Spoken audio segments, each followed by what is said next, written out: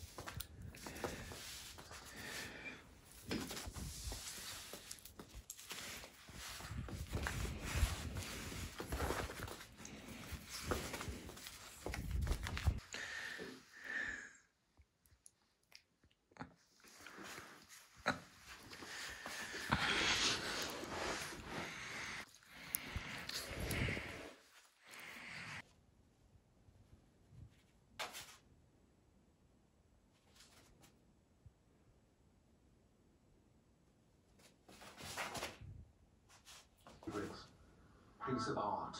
of of. This is the feast of this monastery.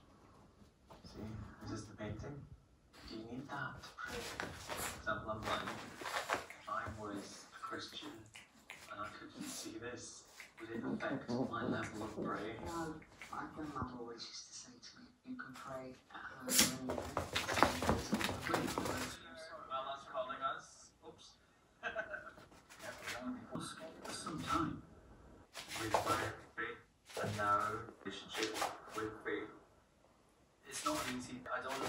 this, um, totally just opening up to the experience. So I think it'd be, it'd be good to see in that experience because I think when you, a certain that's something you're missing.